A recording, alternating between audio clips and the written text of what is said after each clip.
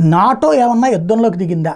ఇది ఓ సందేహం. ఎందుకంటే నాటో వాళ్ళు వచ్చి ఉక్రెయిన్లో శిబిరాలు ఏర్పాటు చేసుకుని దాన్ని అడ్డుపడితే రష్యాను దెబ్బ కొడతామన్నారు ఇది ఇప్పటిదాకా అనుకున్నటువంటిది. అయితే అకస్మాత్తుగా జరిగిన పరిణామాలు సందేహానికి తావిస్తున్నటువంటి. ఏంటయ్యా అంటే రష్యాకి సంబంధించినటువంటి సముద్ర భాగంలో అకస్మాత్తుగా ఒక పేలుడు సంభవించినటువంటి పరిస్థితి. ఇది క్రాన్సందార్ రీజియన్ ప్రాంతంలో జరిగింది.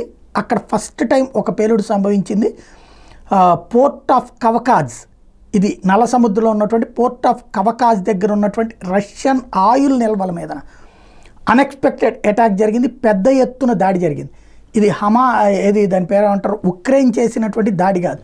దాన్ని బట్టి ఉక్రెయిన్ పేరు చెప్పి నాటో దేశ దళాలే దాడులు ప్రారంభించినయ్యా. ఎందుకంటే మొన్ననే ఉక్రెయిన్ వాళ్ళు వచ్చి రష్యా లోపల దాడి చేసినటువంటి పరిస్థితి ఉంది. ఇది కూడా చూస్తే అట్లాంటిదే అన్నటువంటిది అనుమానిస్తుంది రష్యా